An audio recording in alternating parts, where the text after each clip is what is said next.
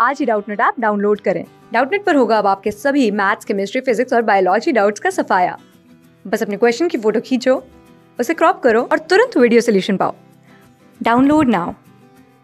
Question is, which of the following molecule falls under category of protobionts? Coacervates and microsphere इनमें से कौन से हमारे ये जो कोआसोवेट्स और माइक्रोस्फेयर में से कौन से मॉलिक्यूल्स हैं जो प्रोटोबायोन्स कहला सकते हैं?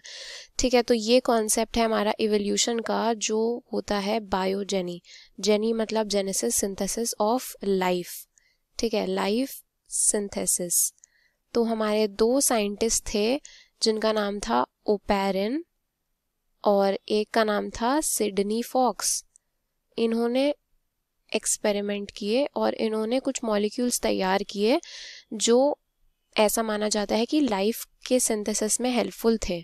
कोई भी चीज़ अगर लाइफ सिंथेसाइज करती है तो उसकी प्रॉपर्टीज़ होनी चाहिए कि वो सेल्फ रेप्लिकेट कर सके। ठीक है? अपनी कॉपीज़ बना सके।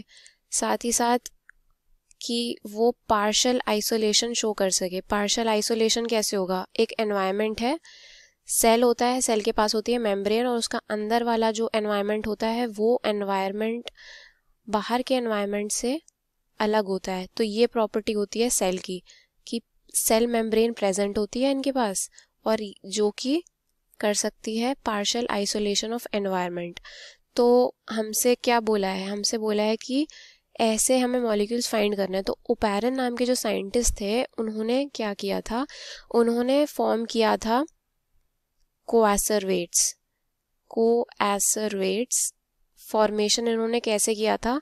इन्होंने प्रोटीन और पॉलीसैक्राइड को मिलाया प्रोटीन और पॉलीसैक्राइड को बनाया और उनको नाम दिया कोएसरवेट्स का। सिडनी फॉक्स ने क्या किया? सिडनी फॉक्स ने बनाया था माइक्रोस्फियर माइक्रोस्फियर। और ये कैसे बनाया था? इन्होंने लिए थे कुछ ऑर्गेनिक कंपाउंड्स, जिनको उन्होंने शेक करके बनाया। ऑर्गेनिक कंपाउंड्स को शेक किया किसको? किसके साथ? कूल वाटर के साथ। ठीक है? और ऐसा कुछ देखा गया कि इनके पास जो थी, जो माइक्रोस्फियर्स बन के आए थे, इनके पास जो मेम्ब्रेन थी, वो थी लिपिड बायलेयर। अब मैंने बताया मेम्ब्रेन है तो मेम्ब्रेन होने के कारण ये अपना एनवायरनमेंट को अलग कर सकते थे, बाहर के एनवायरनमेंट से। बट ये जो कोआसरवेट्स थे, ये जो कोआसरवेट्स थे, इनके पास कोई मेम्ब्रेन नहीं थी।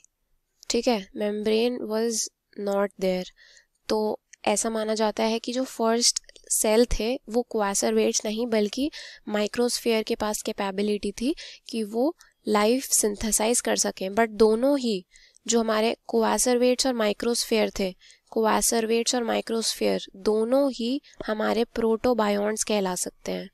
प्रोटोबायोन्स ठीक है? क्योंकि ये भी ये भी जो थे प्रोटीन और पॉलीसैक्राइड्स जो थे, ये इनके पास मेम्ब्रेन नहीं थी बट कुछ ऐसी प्रॉपर्टीज़ थी सेल वाली, ठीक है? जैसे सेल्फ रेप्लिकेशन मैंने बताया। तो अब हमसे यही पूछा था कि कौन से मॉलिक्यूल्स फॉल करते हैं अंडर प्रोटोबायोन्स तो हमारा आंसर हो जाएगा both one and two class six से ट्वेल्थ से लेके NEET I I T JEE mains और एडवांस के लेवल तक। दस मिलियन से ज़्यादा स्टूडेंट्स का भरोसा। आज ही डाउनलोड करें डाउट नेट आप या व्हाट्सअप कीजिए अपने डाउट्स आठ चार सौ चार सौ चार सौ पर।